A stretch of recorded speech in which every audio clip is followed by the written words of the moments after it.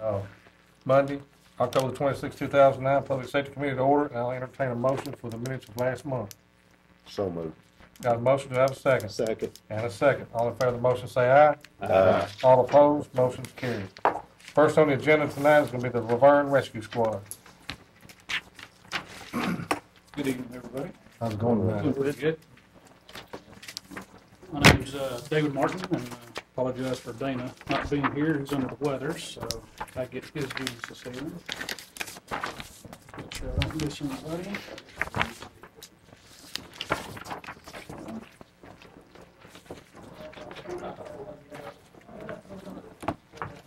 What you have before you on the top sheet is the uh, quarterly summary for July, August, and September totals.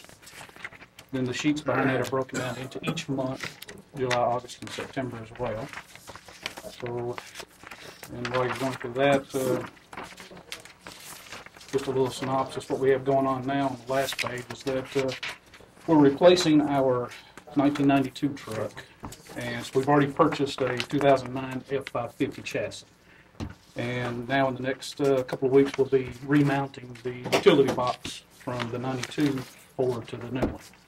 So we hope to have that one uh, done hopefully by December, early January.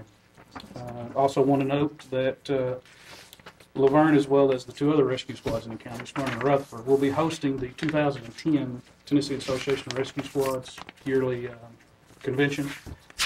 And we'll be uh, asking support from just about every business within the county to donate door prizes, uh, you know, anything that they'd like to have for advertisement for, for our uh, weekend program. And it'll be the TARS's 55th anniversary, and of course, 2010 will be La Vergne's 40th anniversary. And the other mental note there is uh, our next ham breakfast will be November 14th at our facility on Gamble Lane. Okay. Any questions? Where's the, this convention gonna be at? It's going to be at the new embassy there on Medical Center Parkway.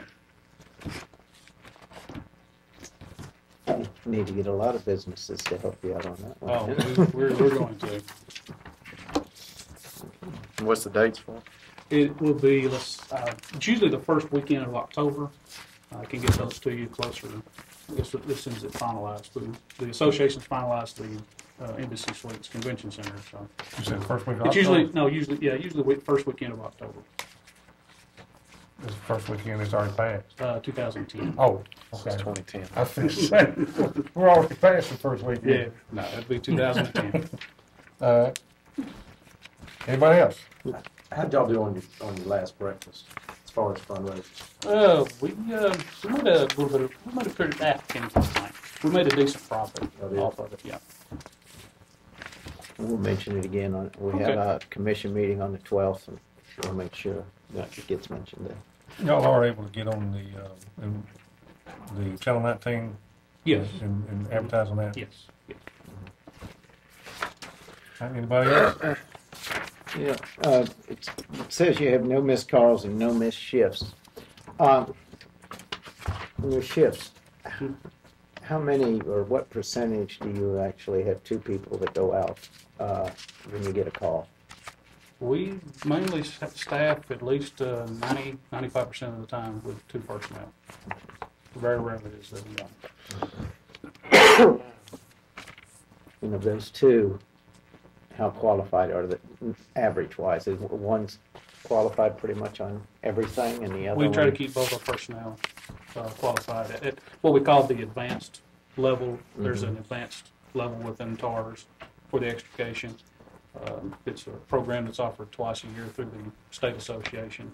It's just a higher training. Uh, Several Murfreesboro fire departments, a lot of fire departments in the county have been through it, so. Anybody else? Got a motion, a second on the floor. All in I don't have a motion. Don't have a motion? Is there Move to approve the report. Second. Motion is second. All in favor of the motion, say aye. Aye. All opposed, motion carries. Thank you. No, sir. Thank you. Appreciate Have a it. good evening. Will tax officer report.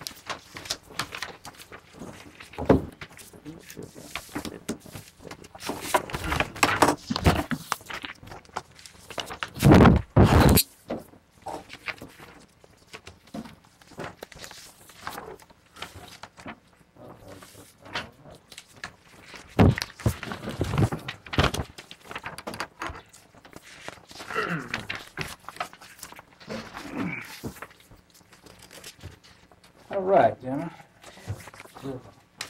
Start off on the first sheet there, warning letters of wheel tax violations there, forty-six.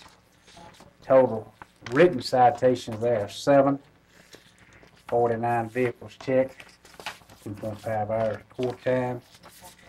Wheel tax violations, twenty-four. Late renewal, twenty-seven, and late renewals is when a person comes in late or hadn't renewed, when we go back and pull the two-year, we make them go back if they, in other words, if they owned a car, lived here and hadn't had a wheel tax fixed on it, we go back two years, you know. Uh, return checks is thirty-one, registration is nine, that's nine violations, violations of ticket road registration. Registration letters, forty-three. Letter violations, four. Uh, letter letters nine. Twelve pending on the letter, uh, unlawful dumping or dumping of something, trash bins that you're not supposed to. Any Questions on that? Second page is problems with, these are still ones that coming in from schools. Uh, you see that's, uh, the ones that sent in this past month. I'm having to go back to, I'm having to go back to just about every school because I'm getting a name, name and address and if- if they hadn't, not in our system, it's, I can't pull it. I, I, I need a tag number where I can pull it along it with our system. So I've I've gone back, the ones I've talked to and tried to continue doing what they're doing, but changing and see if they can give me a tag number because it's so much quicker through the system. I put the tag in there and run it and see what they've done. But, you know, Well, This being the first year, uh, th- Well, yeah. there's some things we can work out. yes, for next things have year. worked out, and, and uh, Angel at the uh, uh, school board, she very cooperative, helping us do what we need to do. And you know, like I said, this is first year, and, and uh, but it, it, it slowed our process down some, but it's still more than we we anticipate more than we thought we would get. Uh, It shows here hundred and ninety-two for this month. Yes, How sir. many total have we received from the school system that are violated? the, I uh, was wheel forty percent last month, but I hadn't got percentage this month. I, that was just schools that I, you know, out of, out of the five hundred something that we tracked down. Around forty percent. So forty percent of the five hundred Right. was schools. Well, that's all, that forty percent was all that I took them off all the schools. But ha- on the, the number, uh, what's the total number of, of actually people that, that were in violation that were caught through all the it- schools? Yeah, like I said, I've, I've had five hundred something turned in. And like I said, we- it's a slow process of going back Right. and through pulling these. Cause that's why I've had to go back to schools and, Right. and kind of change to get a, a tag number. You know, if I got a tag number, I can pull it just like that and see. you know, But those, those five hundred, is it five hundred that was before and then plus the one ninety-two? This, this one ninety, yes, that's, that's in the five hundred, yes, yes. Okay, that's in the 500. It was hundred and thirteen this past month and a half, Okay, and it was seventy-nine last month, so I got hundred and thirteen this past month and a half. so we've had right at a five hundred. A little over five hundred. Oh, good, Yes, okay. Yes, sir. But of those, what's the process with them? Okay, you got some of these came probably out in July when they registered, Yeah, came to you. yeah, so they, And the they ones get- that we can find, I mean, the ones that we are pulling up, we pulling in the system, they're, they're paying. You know. If, like I said, if I don't have, if I don't have correct information, I can't put a false name and tag number with it, you know, so that's why I'm having to go back to the school and try to get a tag number, see. Okay, but what, if we say we have five hundred since July, okay, including these now, the process, you, okay, you Well, get, find a tag number and then you follow up and. That, that doesn't, that doesn't mean five hundred wheel tax violations, you know. It's five hundred that hadn't registered their vehicles they're registered here, but they're not showing the right address. You understand what I mean? So they could have moved, but they- still they- been, They, they, they could move, in other words, if you transferred, if you transferred from La Vergne and you went to Riverdale, that address is not gonna match. You, you, you- you've got the wheel tax and the registration of Ruff County, but what the school board has been putting down to anybody that address that they didn't have and didn't match. It's not all wheel, a lot of that is wheel tax, but not all of these five hundred something are wheel tax violations. But I thought, uh, someone here correct me if I'm wrong, I thought that's what the intent was. that, that is, that. that's why, I'm that's why I'm coming back and, and visiting these schools and, and writing it down. Get the tag numbers where we can match, and we get people moving here from Texas, Louisiana, those people, you know, they got thirty days, and most of what the girls tell me is coming in, they're doing that. Some didn't know what a wheel tax was, you know. But we have quite a few that are moving from other counties in Tennessee to here, correct? Okay, I will say yes, sir. But we look, by got- looking at those sheets, yes, sir, yes, sir, yes, sir. Because we gained, we were the, gained the most population of any county in the state in the year two thousand eight. So those, I think a lot of those people, I, I'm sure I'd probably be one of them too. If I, if the same thing happened to it, I would think that the tags I had from the county I came from would last until, Well, and, and I, I run across that today, and not knocking a car dealer.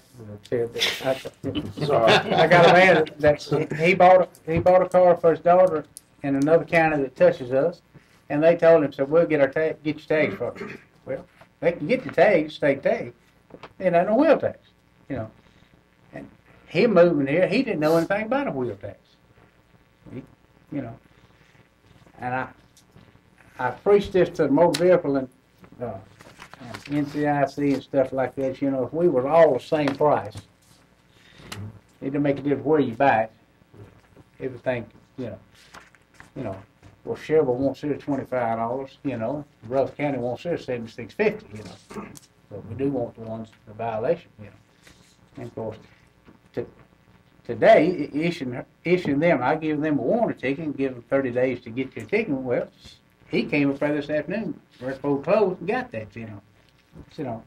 And, but if we don't, if we don't get, get it out that people have to do this, and dealers keep doing this, you know, it, it, it clogs the system.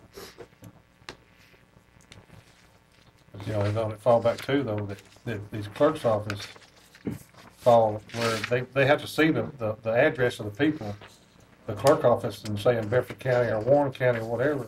And we've got, They, them- sh- they're not even, really Right. should be allowed to even sell it, even though they see the address. They're and, still and, doing and, that. and like, I've talked to some of the counties, if that person comes up here and tells me that I live at two thirty-one Fostville, across the line, you know, if they're busy, they're gonna sell them at two thirty-one across the line.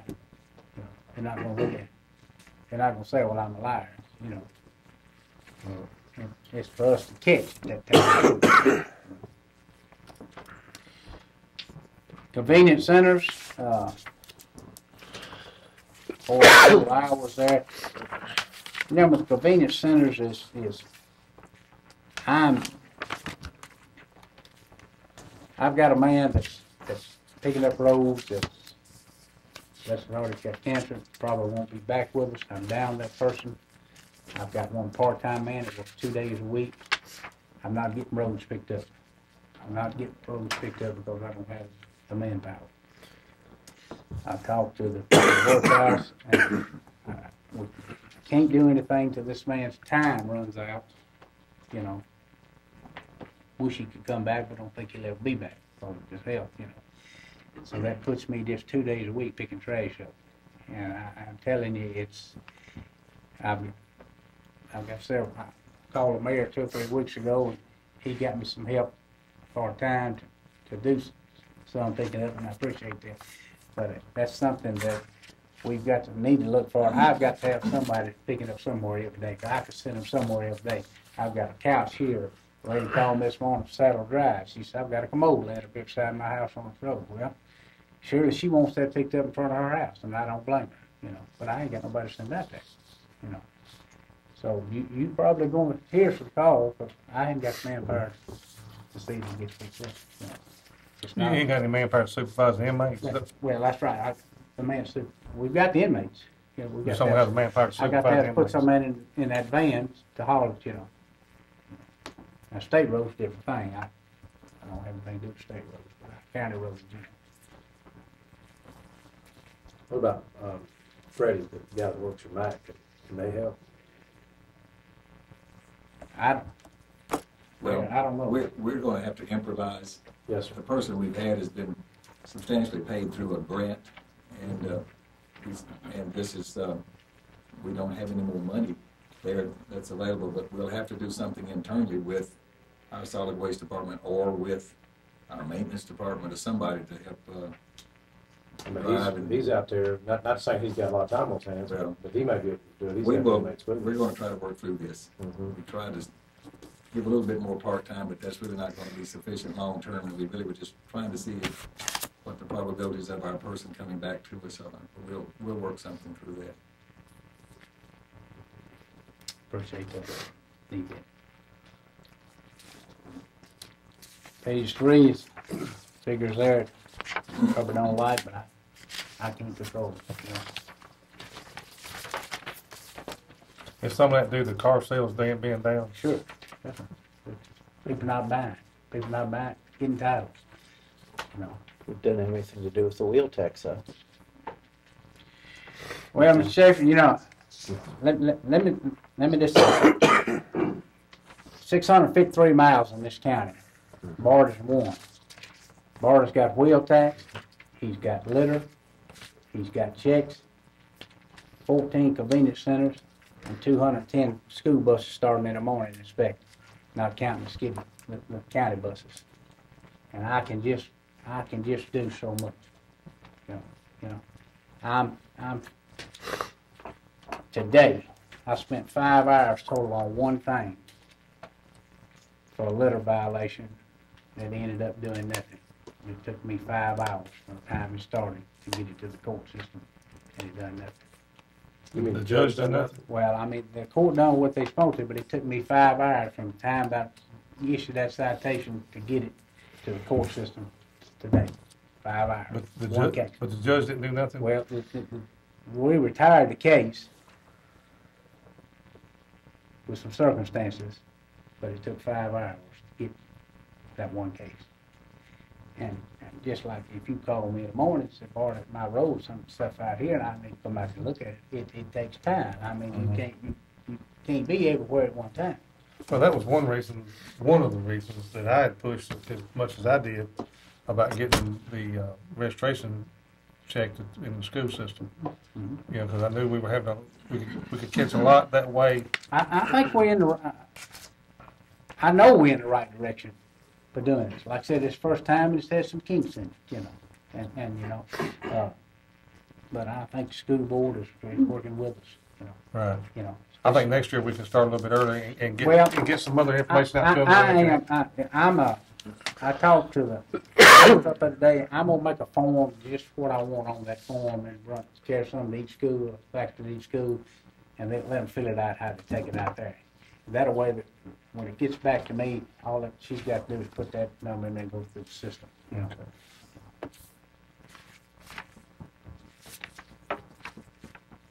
That's all I. Any questions or on the reports? Move to approve report. Got a motion and a second. All in favor of the motion, say aye. Aye. All opposed? Motion carries. Thank you. Thank you. Appreciate it. Juvenile detention.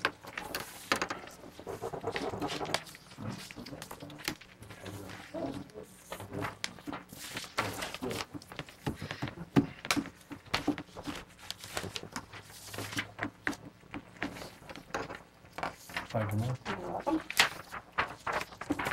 Thank you, ma'am. Okay, gentlemen, I have just a couple things of interest on this September report.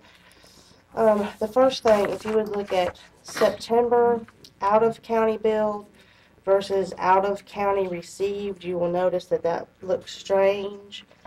Uh, that's because I've transposed those numbers. out of county billed should be fifty-two five, and out of county received should be fifty-one four fifty. So that was just a clerical mistake.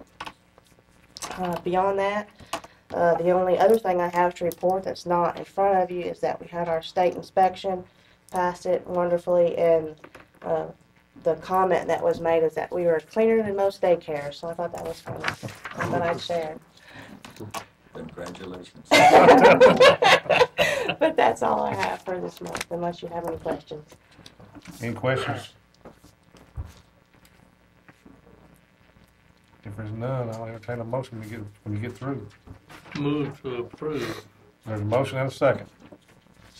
And a second. All in favor of the motion, say aye. Aye. All opposed, motion carries. Anything else? That's. Thank you. OSHA report, and I think you got there in front of you. Evening. How's it going? Fine, thank you. Um, As you see in front of you there, in the month of September, we had a 24 i- injuries that requiring medical attention. And you see the breakout there. Uh, For year-to-date, we have 194. Of that 194, there's 130 which are ac- actually uh, recordable under the OSHA standard. 43 of those have restricted days, 31 lost claim days, and 56 are classified as other recordables. On next page, you can see the graph representation of where they are. Notice it did come down some from the previous month, or previous time this year, last year, uh, down quite a bit from last month. And then uh, out of that 24 injuries, you'll notice over a couple of pages that the Board of Education had a total of 17 and you see where the slip, trip, and fall strains and struck are injured by, were the three top of them at five each. Under uh, Rutherford County General, you'll notice that we had uh, total of six, and five of those were all classified as struck or injured by, and then the remainder of those were with the uh, County Highway Department. That's the report that we have presented tonight. Any questions on the report?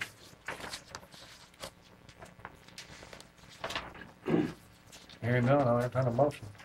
Motion to approve the report. Got a motion and a second. Second.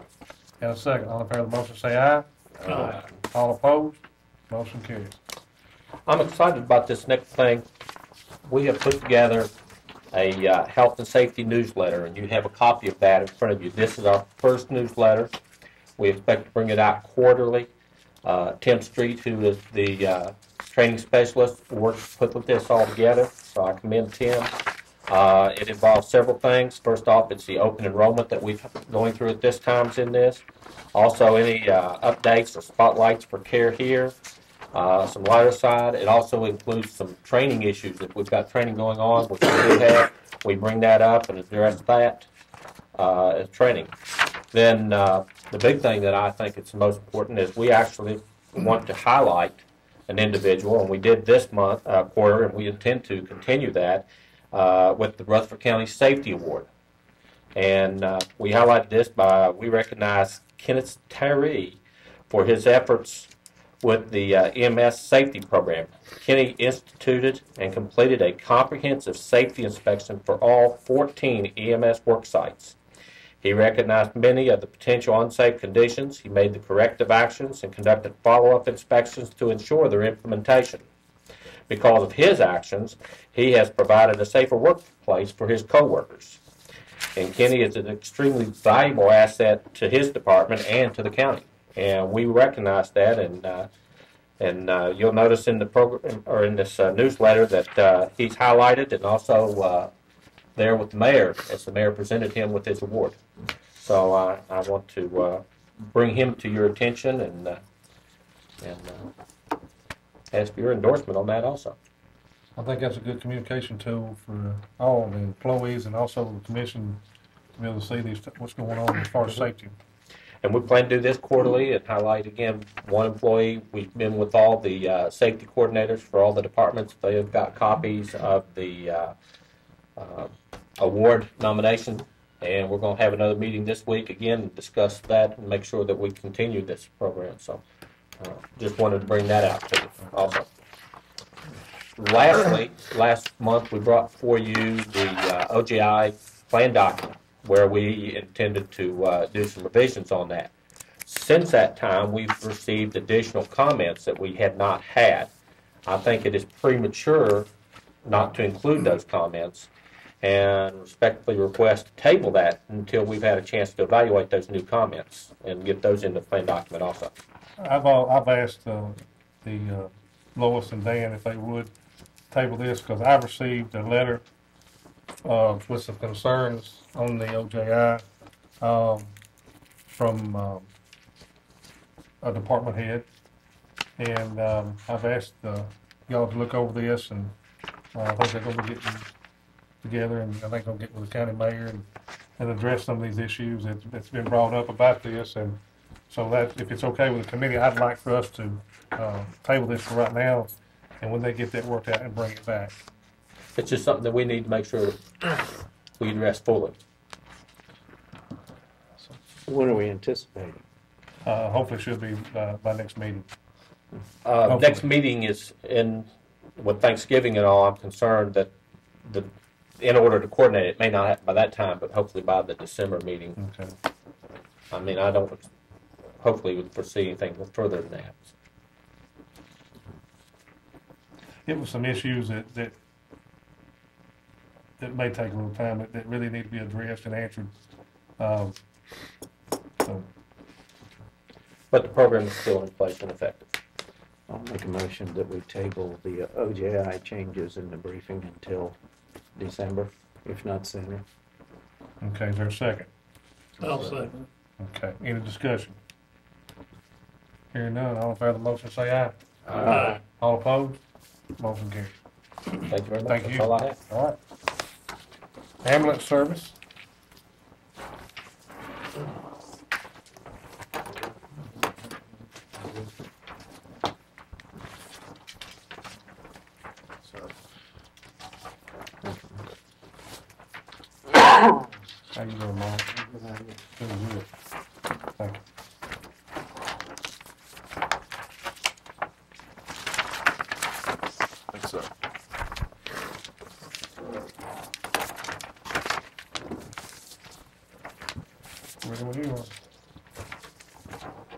1,698 calls last month.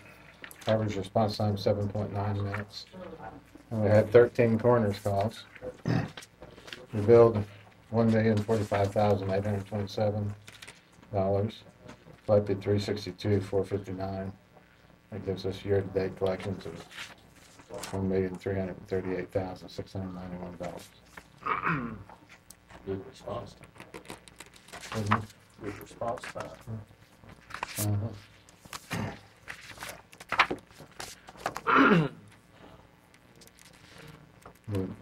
table at the bottom of the page is the mileage for the ambulances. We drove a total of thirty thousand seven hundred ninety-five miles.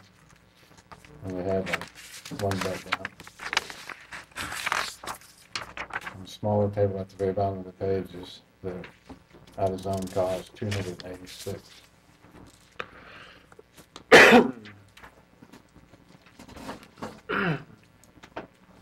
The Next page is details the in-services and training, as well as uh, activities of some of our special event standbys and so forth.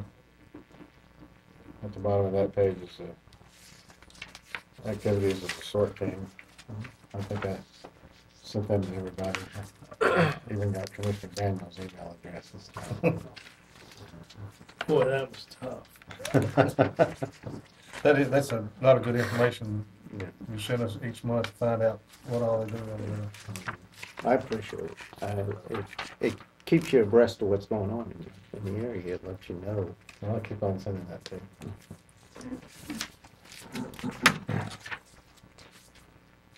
Next page is the response time report. Uh, Breaks the number of calls and the average response time down as to the individual stations. Nothing really new there. Burton Street continues to be the busiest station we have, uh, but also the lowest response time. And the MTSU station is gradually gotten bigger than our Southern Road Station as far as number of calls that that have been made now. Transport team had uh, thirty-four critical care transports and they an- answered sixty-four nine-one-one calls.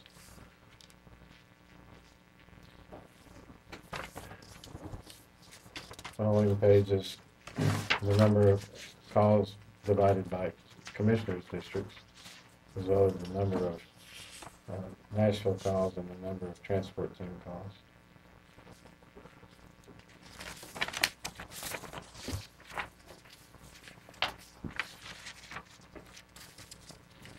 The following page is same information except on a year-to-date basis.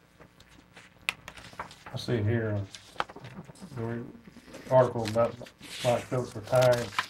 I didn't get a chance to come by that day, I was out of town and we had, we had his little, uh, get-together for his retirement. and Uh, Mike spent thirty-seven years with the county and was a valuable employee for those thirty-seven years and we're gonna miss him.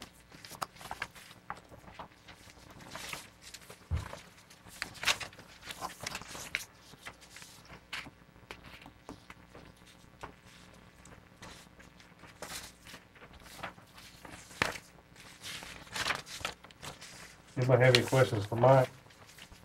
What is a prescription take back event? There's uh, been a combined effort with the Livingston County Sheriff's Department and Murfreesboro Police Department. um, and The ambulance service on setting up stations where people can bring prescription drugs that they've got sitting around the house that they're not taking anymore and turn those in. And uh, I believe it's, I believe the sheriff's office destroying those, that's right. Um, but Great it's been very- idea. Very successful um, so far. He keeps some potential prescription drugs for resale out, off the street, basically what it does. uh, accidental overdoses and all kinds.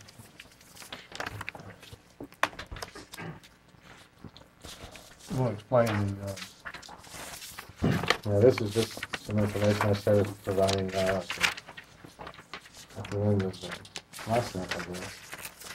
We're just keeping track of how many hours our personnel are absent for FMLA, as well as sick and number of vacation hours.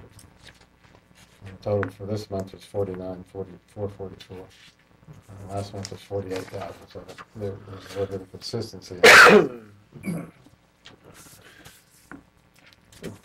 Are the ones that uh, do take the F- FMLA, do they, are they required to take sick leave first if they have it? And if they don't have enough sick leave, to take vacation? That's the county's policy. anybody have any questions for Mike on his report? If not, I'll entertain a motion. Move to approve. Got a motion, do I have a second? Second. have a second. All right. All in favor of the motion, say aye. Aye. All opposed? Motion carries. Got a budget amendment. We have a budget amendment where we took in money and we'd like to put that money back into the line items where that was expended from. Any questions? Y'all heard the request. Move to approve. Got a motion to approve, do I have a second? Second. And a second.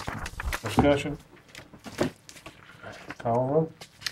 Commissioner Black, Yes. Commissioner Daniel, Yes. Commissioner Hall, Yes. Commissioner P, Yes. Commissioner Schaefer, Yes. Commissioner Sparks. Yes. Commissioner Farley. Yes. Anything else? That's it. Thank you. Appreciate it. Mike, real quick, you know that, that accident that happened in Davidson County, for that ambulance, do you know, what- I didn't get to hear what it happened, what, you know what caused that? I don't know, that tries it, um, about all I really know about it is what I saw on the news and read in the newspaper. We, we were notified of it very quickly, but this, we got the same information that was in the newspaper. It was a, what do you call it, a, a convalescent It was a, it was a convalescent ambulance.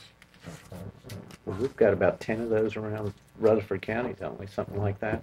And, uh, The people that were on it were were part-time workers that were, full-time job. One of them was with Franklin Fire Department, one with Metro Fire Department. The one with Metro was still hanging on when last I heard. He was really torn up. And the funeral for the the Franklin firefighter was today. today. That's sad. All right, Anybody else? Appreciate it, Mark. Thank you. Correctional Work Center report.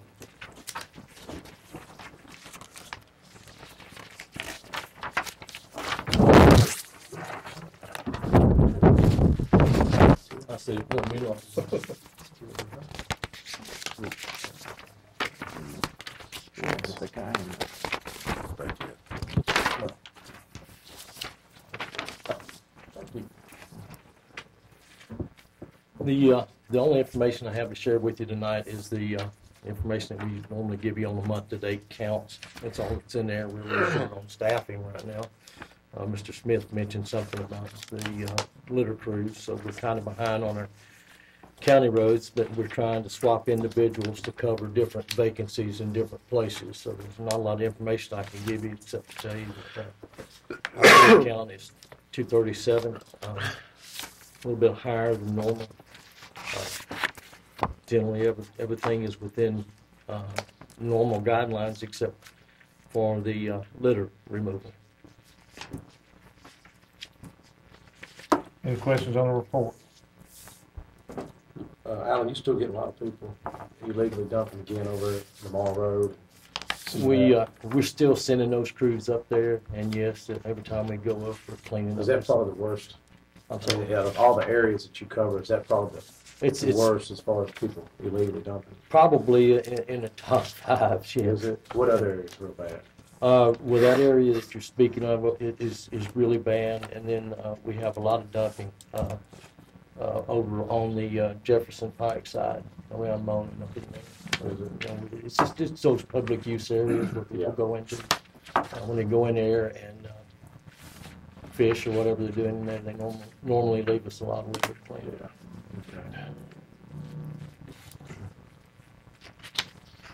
Anybody else? Motion to approve the report. Have a mo- Motion and a second to approve, to approve the report. All in favor of the motion, say aye. Aye. All opposed, motion carried. That- That's it, thank you. Sheriff Department report.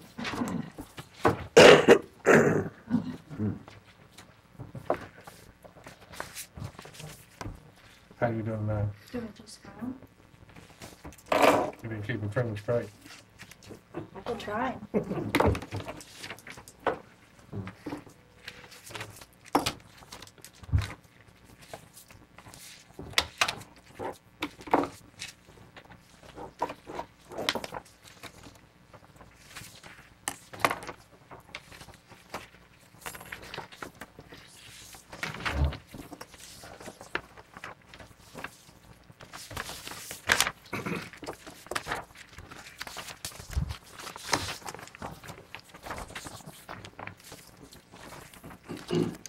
Okay, um, it has been requested that we need an additional school patrol position out at Blackman High School.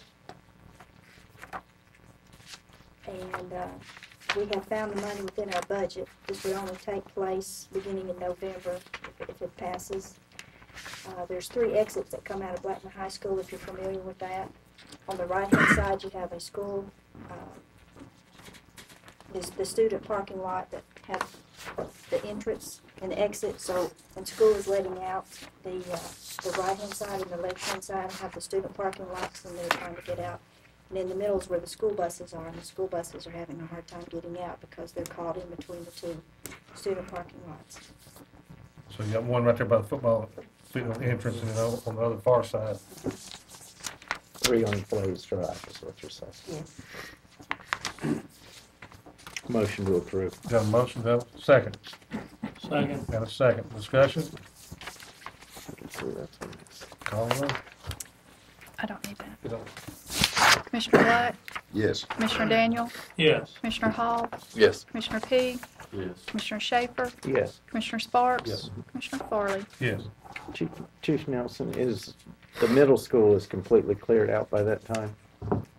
that the No, there's, there's still traffic coming in and out of the middle school too. There's about a fifteen minute time frame as far as when they get off overlap, that overlaps there Just a budget report. everything looking pretty well in line on the line items. Yes. We don't see any foresee any future problems possibly. Don't foresee any future problems. No promises. Entertain a motion whenever you're looking over the, the the report. Motion to approve the report. Got a motion and is there a second?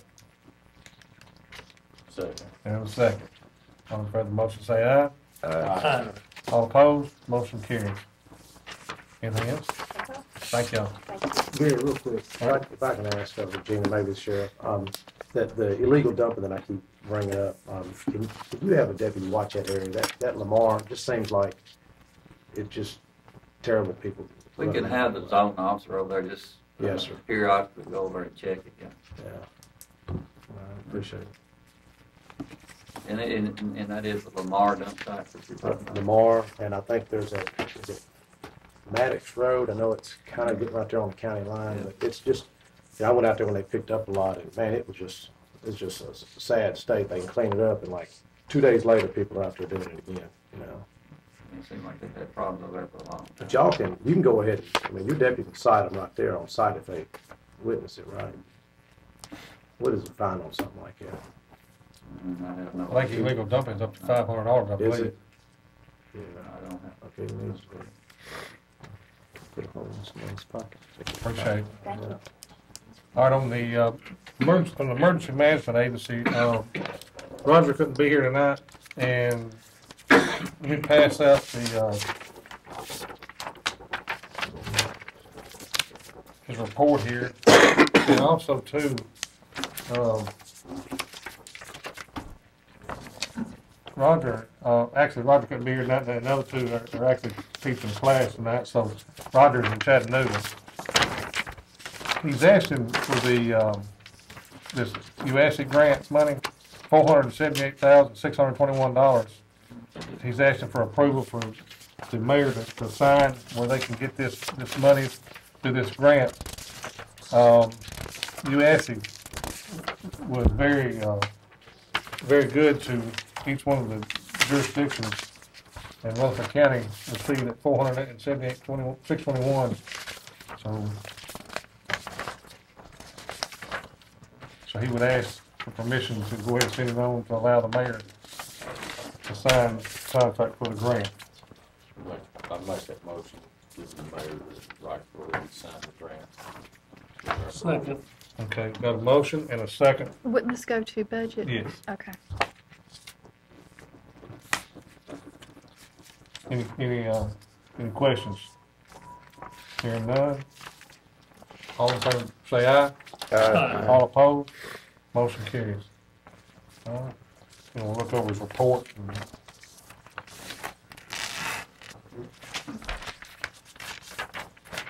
Whenever you get, a- whenever you get a chance entertain a motion to approve his report and send it on.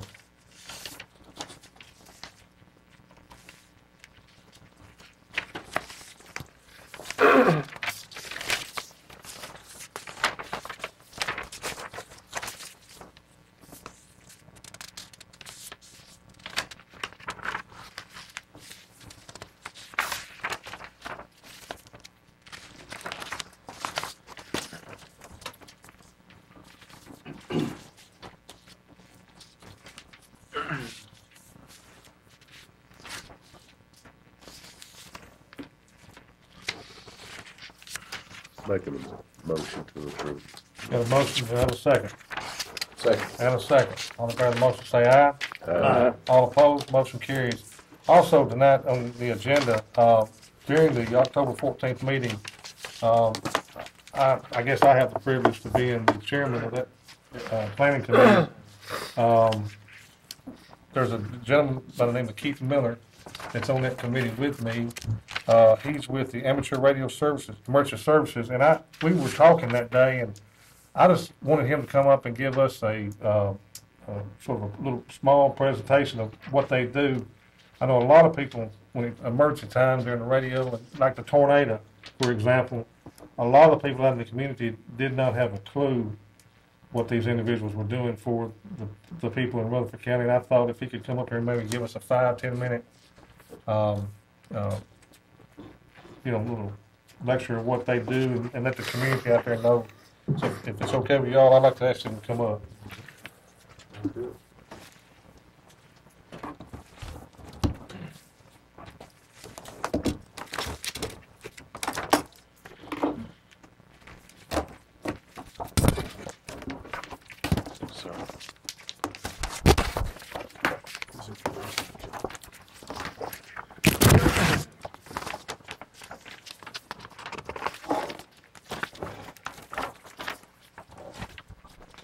Go right ahead, sir. Thank you, Mr. Farley. I appreciate the opportunity to be here. My name is Keith Miller.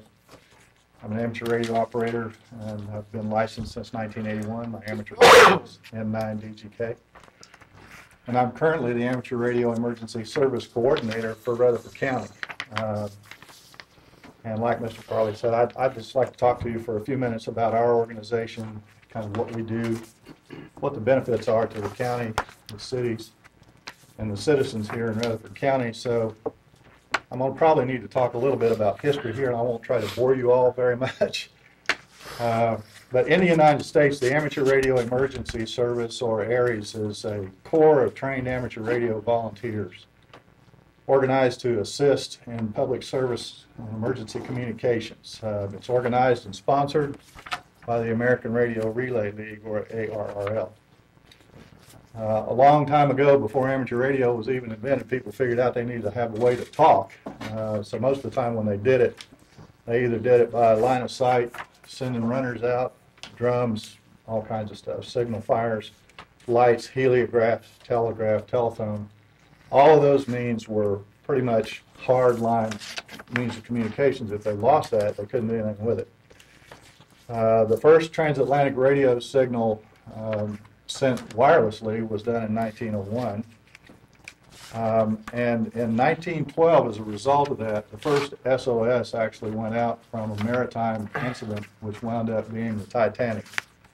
And out of out of that incident, although there were thousand lives or more that were lost, there were over 700 that were saved just by that one little three-letter call that was sent out.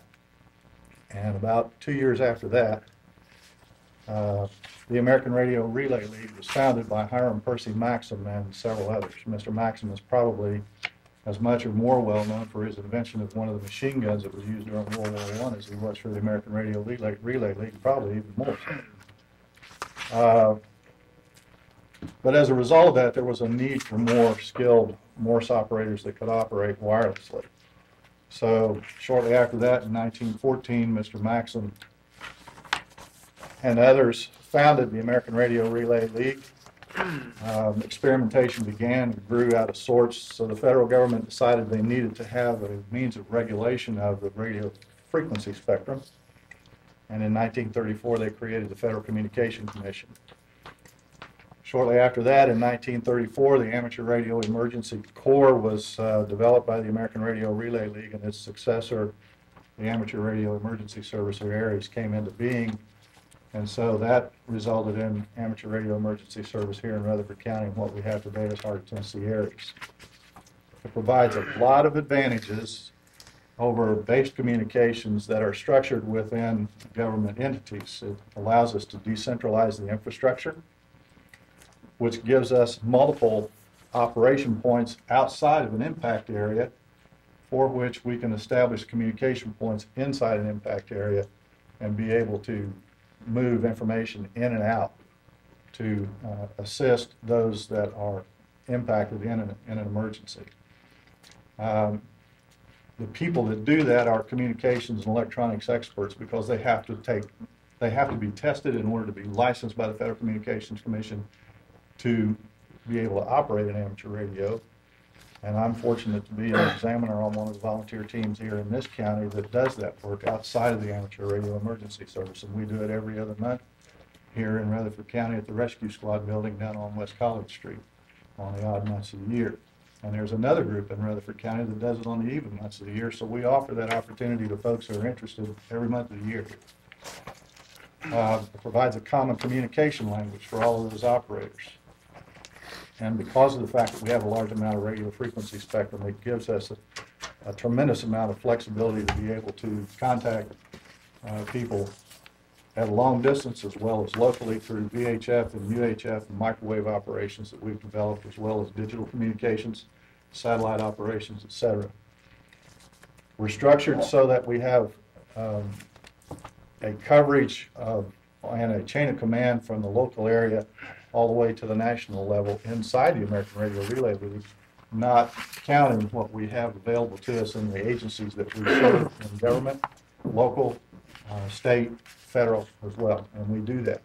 We do it on a regular basis.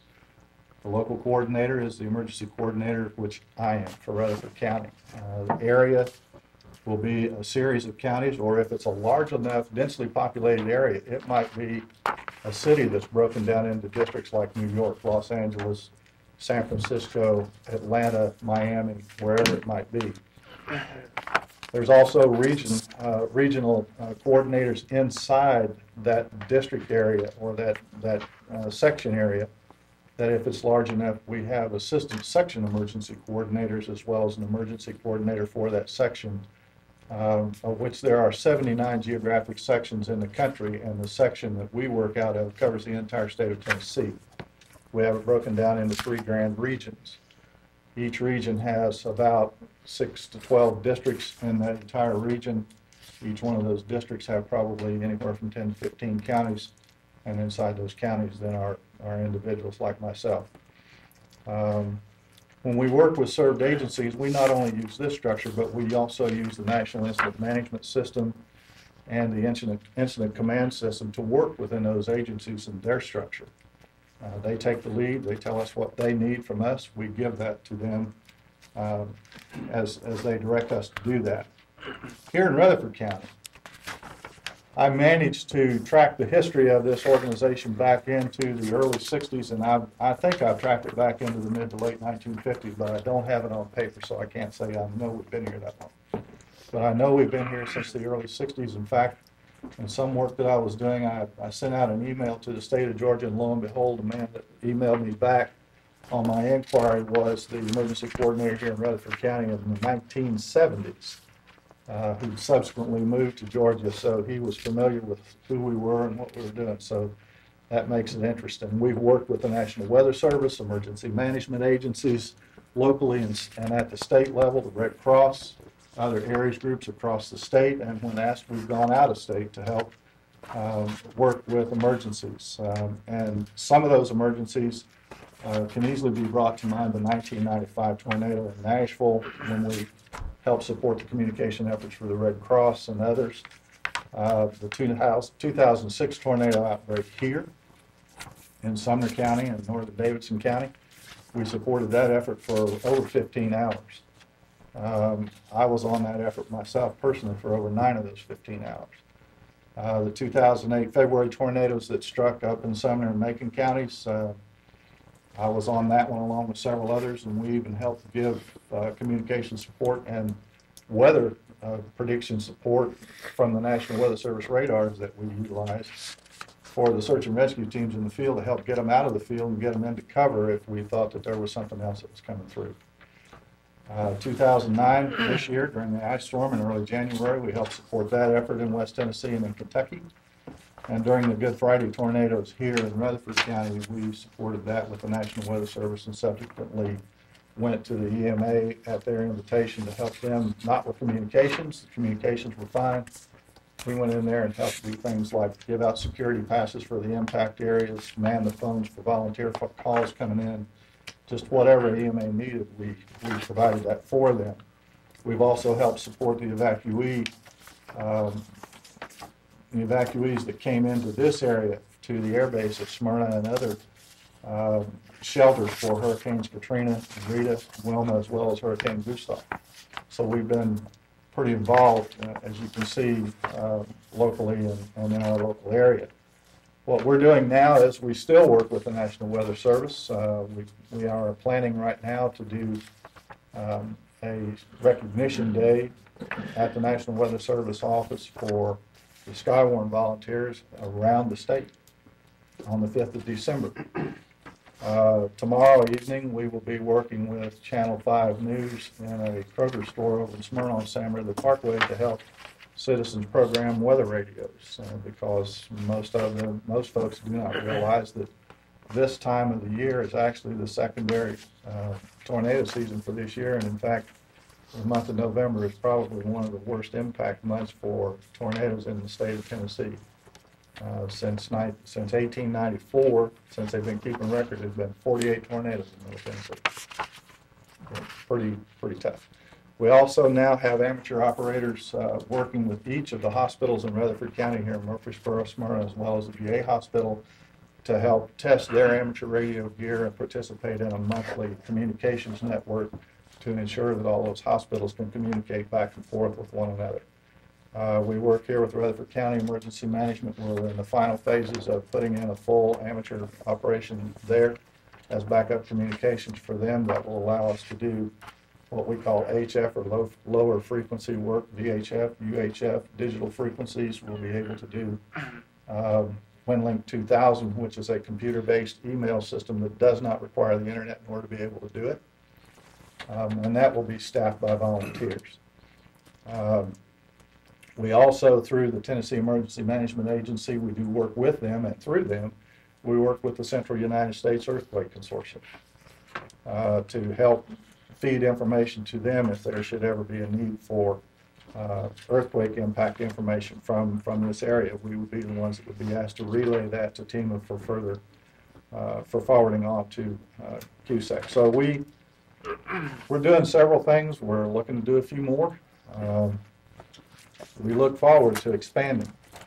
Uh, We started in 2008 tracking community contributions here just to see what our hours and equipment turns into in dollars. Uh, The American Radio Relay League asks us to voluntarily report activities that we do on a monthly basis. We have training nets each week. Uh, We have other uh, uh, civic things that we do, like help provide communications for bike races. The Christmas parade here in Murfreesboro, we've been working with uh, those folks for probably 15 years now, 14 or 15 years. Um, We uh, also worked with uh, Tour de Cure while it was here in Murfreesboro, providing communications between here and uh, the uh, campus in Sewanee and back. Uh, So we turned that into uh, dollars that uh, the American Radio Relay League was using based on Bureau of Labor Statistics volunteer figures so that they could find out what their dollar estimates were for volunteers. So in Rutherford County, even though these figures are complete, we recorded 2,519.05 hours in 2008 from the volunteers in this county. At the stated rate that we were asked to report it at, at $19 per hour to the American Radio Relay League, those hours resulted in contributions in the county of $44,060.55. The personal radio equipment, the use of the repeater systems that were built, almost all of which are voluntarily done, they don't take any public dollars. Uh, For those operations came to a total of three million, three hundred and twenty-eight thousand, eight hundred dollars. They're all almost exclusively privately owned and supported. Uh, We've provided an additional sheet for you behind your uh, uh, PowerPoint slides here that uh, give you the full details of this because I couldn't get the headers to actually let the dollars float where they needed to on the slide. So I thought rather than raising any questions, I'd just put the whole sheet in here. The total value of time and equipment for 2008 that we recorded was $3,372,860.55. Um, And we quoted on the bottom of that sheet that the entire year does not reflect every activity participated in for such events as training classes offered to the public, to group members, nor does it include preparation hours for trainers and leaders for events. It also does not include estimates of personal vehicle usage, mileage of operating costs, or by the volunteers. We currently have 46 members, and of that members, I, membership, I have seven staff and uh, three technical coordinators, and two of those staff are with me here this evening. Um, It's pretty fair to say that there are several hundred more hours, uh, probably several thousand more dollars that we could have legitimately added to this thing, but uh, we just didn't do it. They weren't there. I didn't have what I felt like was accurate enough information to fairly put them on there. Um, But we do appreciate the opportunity to introduce you to this organization. and look to, look forward to working more closely with Rutherford County EMA, other organizations in the county, city governments, municipalities, volunteer organizations for what we can provide for you. And so, one of the things that I've also included in here is also a copy of our uh, log operations for the November or the April 10th tornado. Uh, The first is uh, just an actual uh, set of documentation that the operators that ran that particular net uh, took down for the activity that day. I went, I took the liberty of going back and highlighting where most of the action actually started, what was being reported. Uh, The gray highlights on the left side of the documentation represent the time in 24, in military time on that day, that those, those, uh, that information was taken and reported, and all of that was reported to the National Weather Service in less than three minutes after it was reported to our net. Um, The second set of documents behind that is a set of logging software that you can see that we use to record all those people that checked into our net. That gives us the opportunity then to uh, kind of account for how many people we had. And during that time frame, that day, during the actual tornado event itself, we had 66 people that had checked in, and you can see that each one of these totals represents either a single county or the Heart of Tennessee areas, members themselves, or staff members, or folks that we did not have in the, in the, uh, in the master software behind that in our log, but had reported it anyway, so we have them up there first. Um, The rest of this is just unabashed advertisement for the American Radio Relay League that I took the liberty of laying in here, so I appreciate your time, and I'll be happy to answer any questions for you. Is there any questions for Mr. Miller? I noticed it said you had a mobile, somebody made a contact on a mobile unit, so that you're able to contact, I assume, out the vehicle, or is that a? Yes. portable? Almost, almost without exception, everyone you see here have not only radios in their home, but probably radios in their car and handhelds that they can take with them if they have to get out of the car, where they can stay in touch with the rest of us. Um, So you're capable of contacting just about any county agency's frequency? At this time, we don't. We soon will be. Uh, But the county also has amateur radio equipment that we can tie into so that we can get to them on that equipment. And then if they need, to- if they need us to, to go somewhere else, they'll tell us where we need to be and, and how we need to, how we need to make it happen. You monitor our radio channels during a major disaster, you know they get tied up. Yes, we do. Having backup certainly. Yeah. I'll give you one example of, of what I was talking here about decentralized infrastructure. And this is just one. Uh, most of you will probably remember about a year, year and a half ago, there was a gentleman who was in a boat that capsized and was sinking off of the coast of Chile. And the Chilean Navy went out and got him, brought him back. The reason they knew he was out there is because he had a ham radio on his boat, and he contacted a guy that was living up around Portland, Oregon, who happened to be a Chilean natural, who had moved to the United States, but had family there and knew some people in the government, and made a phone call to Chile, and they sent a boat out and got him. That's how that guy got off the water. Hmm. Otherwise, he would have drowned, and they would have never known he was there. That's, that's a pretty exaggerated incident, but um, one even better than that is, it's one of the, some of the first communications that came out of New Orleans came off the top of a hospital from a ham radio operator that was stranded up there and couldn't get off. And he had one radio in his pocket, in his, in, in his possession on top of that hospital, and he was there for a week and a half before they got him. He was the only means of communication in and out of New Orleans for that time.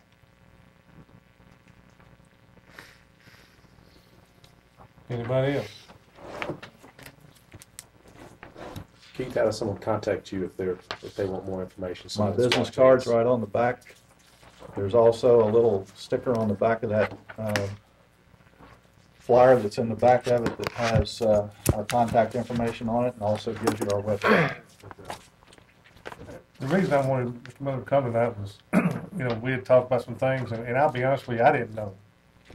And I thought it'd be, be best to let the committee and also let people know out in the public that, uh, you know, we got volunteer firefighters, we got rescue squads and stuff like that, and we got people out here volunteering their time to, on the communication side, just kind of let everybody know that, uh, there are people out there that are willing to help and, and they do a good job and kind of shed a little light on, on y'all's organization and, and, uh, what y'all do for the public. Anybody else? We appreciate y'all, and we appreciate you coming tonight and Thank you. and sharing this with us. Thank you. Thank you. All right, pause.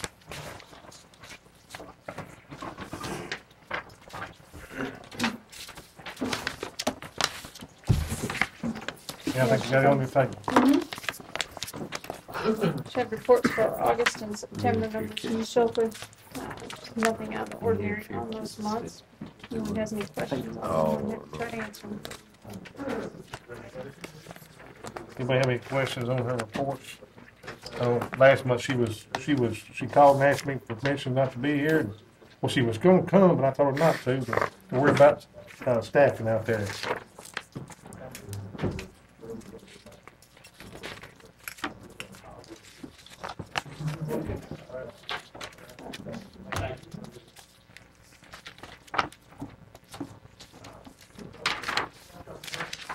Questions?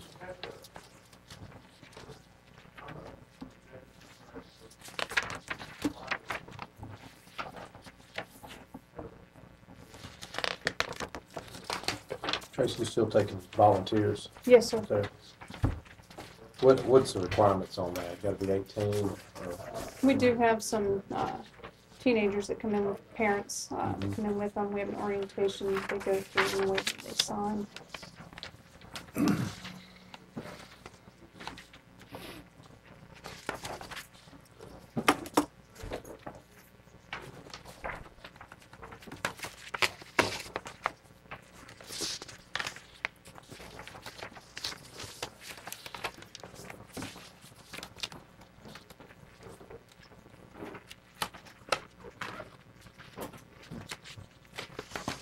Any questions?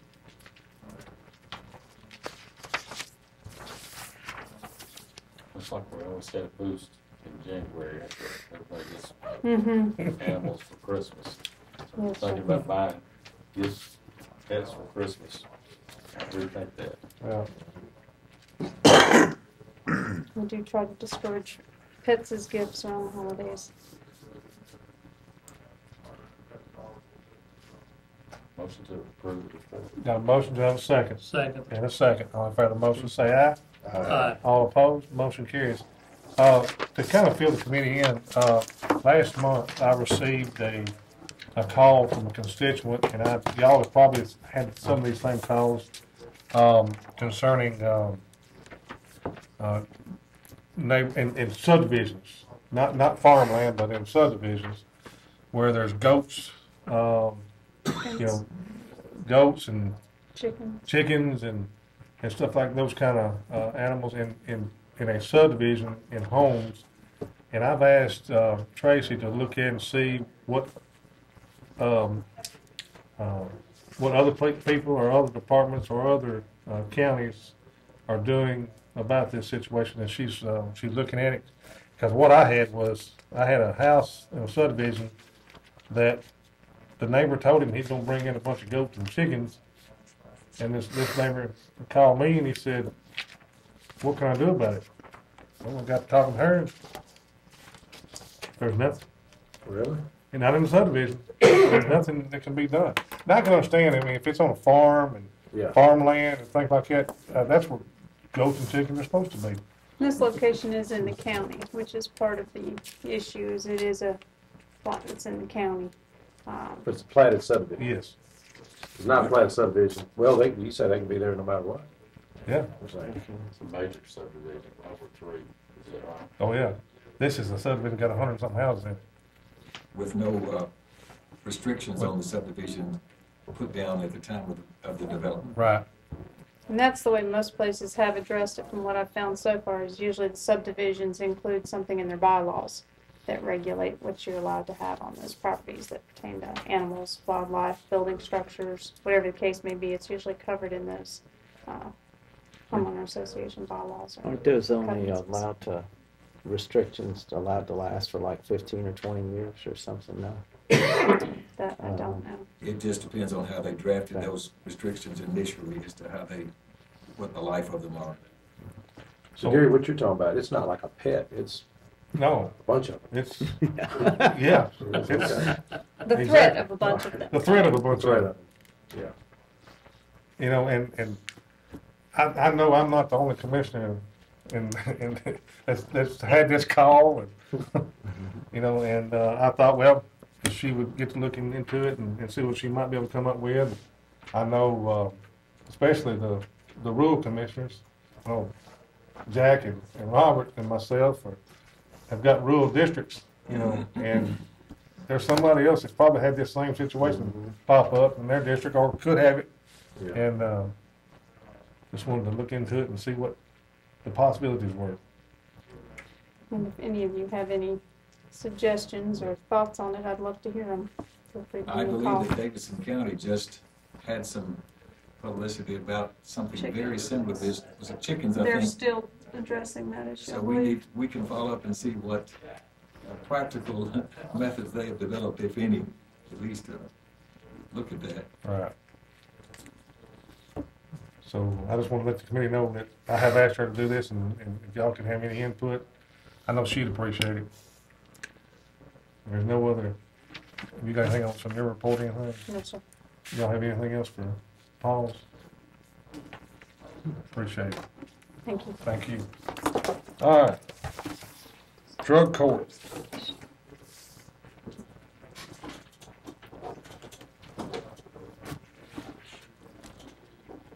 You're to, you're number one next month. Am I? Ooh. You're Ooh. moving to the top next month. Wow. Special. You done rotated down there? You just have to go with the flow, you know? Yeah, Those are the months. appreciate you working with us on it.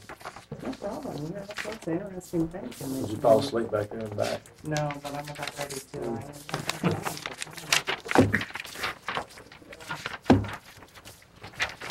Yes, You got one more, I'll put over here. Oh. You got one. All righty. Well, those are, those are my numbers. Uh, How many are you gonna graduate? Four. Which is really low for us. What's, what's the problem, people? Well, our numbers are down, for one thing, because um, what we've decided is that the DUI court is taking away people from the drug court, because we used to just put them in the drug court, but now we've separated them. So when you look at both programs, we have 60 people, so we're still in good shape, but, um, so the numbers are low. And now our DUI graduation in November, we're probably going to have five or six. So if you put the two together, it would be 10 or 12, which is usually what it is, 10 or 12 a year for grad- graduation. So I'm not too concerned about it. I think we're all Any questions on her report here? Any more? right. I just have some information I wanted to share, but is that part of my report? Yep. Okay. Well, I did want to remind everybody about graduation Thursday at 6 o'clock. Um, And like I said, we will have four people graduating, so it should be very quick. If you want to come to a quick one, this would be the one to come to. Um, And then also, and I don't know if the mayor has shared this information with anybody, but we have been chosen to host the Tennessee Association of Drug Court Professionals Conference next year. So we have already reserved space at the Embassy Suites, and we're very, very excited. My staff is very excited. So we will be hosting approximately 300 people next December. And um, since it's our 10th year anniversary next year, we really want to make a big deal out of it. That's right. So I'm not sure what we're going to do yet, but I'm sure the mayor will come up with something. No pressure there. But um, at some point, we want you guys to be involved too, because you've been so supportive. And again, I'm not sure how that's gonna look or anything. The, the two mayors are gonna be doing introductions and opening the ceremony with Judge Ash, but, uh, after, we haven't gotten any further than that. But we're very excited and we're also very honored and, um, we're very pleased to be able to show people what Murfreesboro has to offer because everybody always wants to go to Nashville and, and I think we have as much, if, if not more than Nashville does. Um, we've got the restaurants, we've got the shopping. Embassy Suites is just unbelievable. Um, they are working extremely well with us and have just been a great partner already, so kudos to them. But anyway, we're excited. And that, that is my report. Any questions on her report? Let me ask, with, with your numbers being down like that, what, what can you do to get more people to go through the process? Tell them it's easy. I mean, a lot of people just don't want to go through it then? Yeah. Either, either they're not appropriate for the program or they'd rather go to jail. Really? Yeah. Well, that's the easy thing to do is go to jail. Yeah. Well, you turn down some too, don't you? Yeah, They we do ju- turn you down. judge One out of four we mm-hmm. turn down because they're inappropriate. They can kick them out if they. We have that problem too occasionally, yeah, or they, they realize they're in over their heads and so they, they voluntarily leave. Before But you we- get caught? Well, What does that do with their status with the, If they voluntarily leave, Mm-hmm. um, when they're returned to court, they typically are terminated. Now, we sort of have an unofficial policy that if they turn themselves in within two weeks, we'll, we'll deal with them and, you know, talk- see if they still want to do it. And we have had a few lately that have come back, so we felt good about that. But, um, I don't know, the younger ones, I guess, their trust issues are so severe that they assume when they mess up and do something wrong that we will terminate them anyway. And they aren't convinced that we're gonna give them another chance, which is what we do in most circumstances. I mean, if they commit robbery or something like that, of course, we're not gonna give them another chance. But, um, if all they did was relapse, then we're gonna work with them and possibly put them in a treatment facility or something like that, so. But when you're twenty-one, you think it's the end of the world, you know, when you're looking at jail, I guess. So, and I don't know why they run, because you're going, they're gonna be caught eventually anyway, so it's kind of silly. to- I don't understand the whole thing. They were thinking straight, they wouldn't be doing that in the first place. Well, that's true. You're absolutely right. You're absolutely right. So, But if we can keep them long enough, we can usually convince them it's a good thing, and, and they agree. I mean, I've been doing exit interviews with the graduates this week, and they're all, you know, talk about how scared they were at first, and how intimidating it was at first, and, and how much they're thankful that they made it, and they, it's changed their lives, and, and, um, they just can't say enough good stuff, which we'll hear Thursday night, so. Do you, uh, do you ever use any of your graduates to talk to Mhm. potential people? We, oh, to, to participants? Right, Oh. or, or potential participants. No, we really They don't. might give a little better insight, Well, you're right.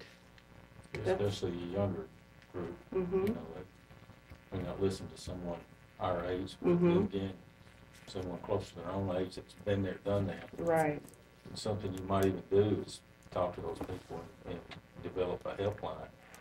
Let these guys that are willing, that have gone through it and graduated, let them be, you know, somebody they can call. Mm-hmm, You know, mm-hmm. I feel like I'm slipping or whatever they want Mhm. to talk about, maybe they, maybe get some things Well, now, going we there. do do that once they're in the program, they get phone numbers, but before the program, that's, that's a good idea though, to have, have a graduate come during the assessment and maybe talk to them.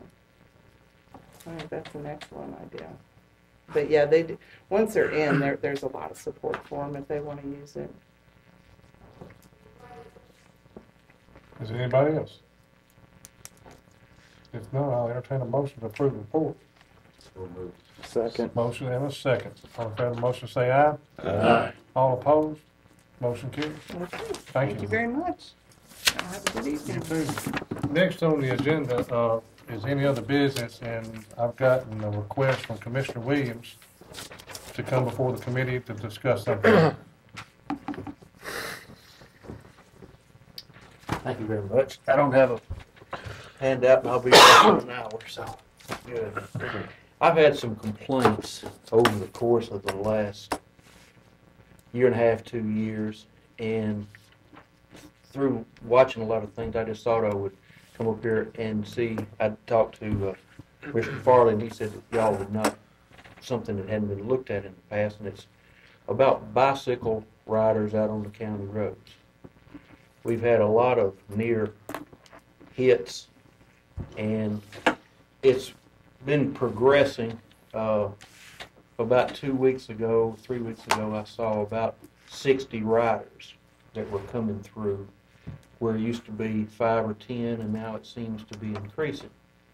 And in this little mailer that we get as county commissioners uh, from the national scene, I, I, it caught my attention. The reason I came up here now is in uh, Iowa, they had an incident and uh, bicyclist got hit, sued the county and won several hundred thousand dollars. After that, this particular county passed a law that they couldn't be on those roads. Or there were certain roads. I, I haven't dabbled into it, but having seen that, I just thought that I would come up and get maybe some dialogue started to see if there, if we could go through a process and look at several things to be proactive on this so as not to have a, uh, as our population grows, more people are being cyclists, and it might be something as simple as putting signs up that say, watch for bicyclists on this road. I don't, I don't know what, what any of the answers are or any suggestions, but to make our roads safer, another option might be to say there are certain roads that they can't be on. There might be a, a whole array of things that we could do because as if any of you that have traveled into county roads, particularly out in my district, you can top a hill and you can't see them. I mean, they're so sudden, so many blind spots, and if you've got a lot of cyclists out there, man, don't want to do anything to hurt anybody, anything, but trying to make it safer. And so, in, in fact, the other day had a, uh, two complaints that uh, these cyclists were stopping cars on a. They were coming. The cyclists were coming where they had to stop, and the other road was going. And there was a cyclist that was stopped there stopping cars without a police officer or anything from going down the road. And now I know all the roads are 40, 45 miles an hour, but they don't ride. They don't go 40, 45 out in, in my district. I don't know about the others pretty much. So anyway, I just thought it might be something of the interest for us to look at. Uh, I did notice I was watching Andy Griffith the other night, and Opie had to buy a 50 cent bicycle tag. so I thought, well, Wheel tag. Oh, yeah, you know, there's uh, they only got two wheels, so maybe. Uh, So, so are you advocating a wheel tax? for- I'm not advocating anything. I'm just throwing out. Uh, That's forty-some years ago, though, when Opie was still. Yeah, that's forty-five years ago. So I don't know if anybody else has noticed this, uh, the bicyclists out there, they seem to be increasing. And I'd hate to see somebody get hurt. And if there's something simple that we can do, maybe talk to the people that are in some of these clubs to see what, what they're interested in doing and how we can make all of this safer and avoid somebody getting hit or, or killed and having a lot of problems. Don't know what the answers are, but just thought maybe it might be worth uh, spending a little time discussing it over the next few months. I mean, I don't know, uh, Mayor Burgess may have some su- suggestion. I know he's a big cyclist enthusiast. No. But, I uh, never owned but one bicycle. No, I- I- That was a used bicycle that I paid twenty dollars for. bicycle, cyclists, unicyclists, bicyclists, motorcyclists, whatever, they are uh, subject to the rules of the road. They have to obey the laws of the road, just like a automobile or a truck or a motorcycle or anything else. Well, that, that is true, but. Well, I mean, Have you walked around on the sidewalks in downtown Murfreesboro lately? And, and then the, I'm the other, surprised that they let the, 'em the other ride on the aspect of this is that the county roads are paid for by, they aren't paid for with property tax money. They are paid, paid for with Wheel tax money. Gasoline tax. gasoline tax money primarily. There's a small amount of wheel tax money that goes in that, and so on, so. TVA? Now, the mining, there's a, there's a. a mi- Extraction fee. Extraction fees, part of that goes for that, so property tax does not go in, I mean, that is not an argument that they've put property tax that, because that money doesn't go in there. Not saying, don't want to use them, but just trying to make something safety, maybe it's just signs up, or identifying certain roads that they can be on, or should be on, or not be on. I, I don't know what the answer is, or if we need to do anything. Well, I I know a lot of the bicycle enthusiasts are, are, are an advocate for, uh, bicycle lanes.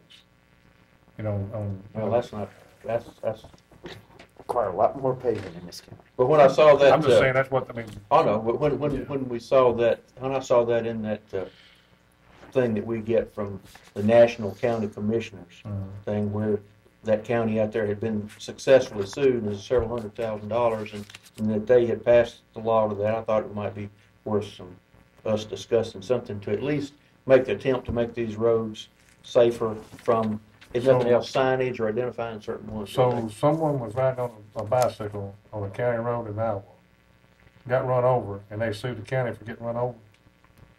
And a judge. I don't know the details. Oh, I just, it, in this thing, it just said that, I that don't a think guy had won three hundred and fifty or four hundred and fifty thousand dollars from the county for, uh, after getting hurt in a bicycle accident. And after then, the county commission over there voted to make them where they couldn't ride on the county roads. Don't know how they can do that legally, don't know any of that part, but, uh, Have you talked to Jim Cope about it? I talked, no, I mean, I just, uh, We, we need to get a copy of that, uh, that lawsuit and that, that issue. I mean, that was out there in Iowa and Ms. that, but, Shelton can help us surf the internet and we will, we'll get some more data. but I just thought that would be worth something us to kind of But kick you around, know, and look at. it's, it's, I mean, it's kind of ironic you're talking about this, because just last night on Nissan Drive, there was a guy coming down the wrong way on a, on a bicycle. And then before I knew it, I was right there on him, and, and I thought, man, I could have, you know, I, I mean, I, I felt like I come close to hitting him. He's coming the wrong way, and you, you didn't see him, but, uh, my secretary today told me about a little, a little girl she knows struck and killed a a bicycle. And it's probably not, if I'm not mistaken, it was here in, in this county because she was making the comment she was surprised that the girl didn't serve jail time or something. But I think what you're what this the you know situation you're talking about is, you know, it may seem kind of trivial, but I think it's kind of serious because I see these people ride on Victor Lane or Jefferson Pike, and to me, you take your life in your own hands within a matter. I'd like to see us be ahead of the program as opposed to trying to catch up on something. If it's something that we can work on with them as a safety awareness and do something on that, I think we at least ought to maybe kick it around a little bit. But anyway, that was all I wanted. Are you talking about just the events, you know, talking about, there are a lot of people out there that their bicycle is the way they commute to work and uh-huh. everything else as far as transportation. You talking about those folks too? Anybody on the road. I don't have any specific suggestion. I'm just seeing a potential problem and if. What, what would, it- why don't you do this? I mean, I'm the type of person, don't give me this, a problem, give me a solution type deal. Once you get in in touch with uh, our, our county attorney and bring up something, and maybe bring something to us that we can look at. Well, I guess where I was going with that is that's what this committee is, that's the reason I came up here, because y'all are public safety, and if y'all contacted him and asked him to, to look into that, then that would be coming from the, I'm just following the process of trying to go to the committee, and the committee, if, if y'all want to do something to that, ask him to look into some of that. I, I don't know what the answers are. I just know they're riding around and, and. I think maybe there's there's surely there's a, a cyclist association, these bike shops. We could maybe there's a way that we communicate with them and, and get some feedback with them, some suggestions. Cause I think you're going in the right direction. I mean, it's you're seeing a lot more people riding like that, and um uh, and like the guy that was riding the wrong side of the road. I mean, and I could I could have hit struck and killed that guy last night. You know, with riding like that. So it's it's something that that could be a problem. I think let's get some feedback from from the association, some of these these I'll, I'll take this under some sort of a directive advisement.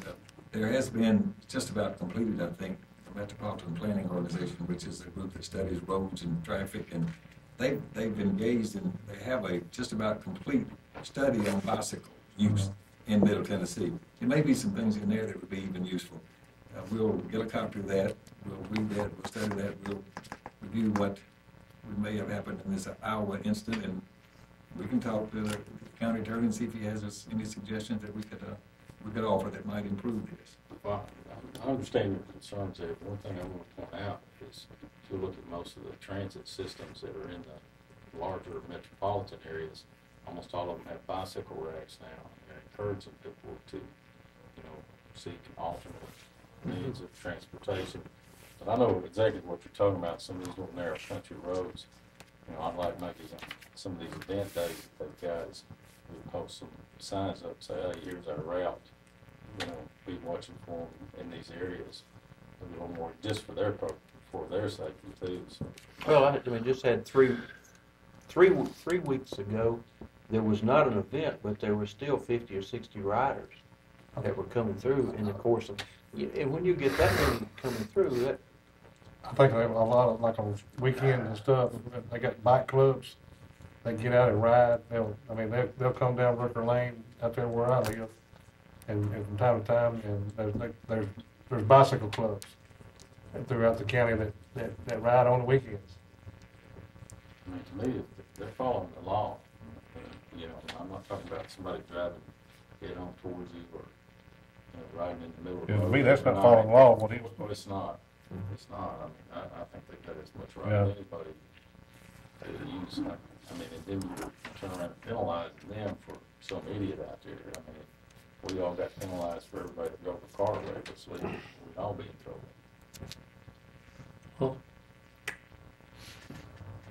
well, that was all I had about, about, yes, about that. All right. Well, you know, it's- to me, it's a two-way street. 'Cause listen, last night, I was going to church in the city of La Vergne. It was dark. It was about six-thirty. Turned to a, onto a side road, a more side road. And there was two kids, half out in the middle of the road, dark clothes on, on bikes with not even a reflector on the bike. Yeah. Most of the I mean, cyclist clubs, though, I Yeah, mean, they they will. promote safety. Yeah, But they do. you'll also, you'll, you'll get a lot of times they're running, riding two and three abreast too. And- But the sample that I was more familiar with was walking around the Greenway, starting at Cannonsburgh and going around to the next major junction after you cross the railroad tracks and go that way. And I found there are two bridges there that you go under.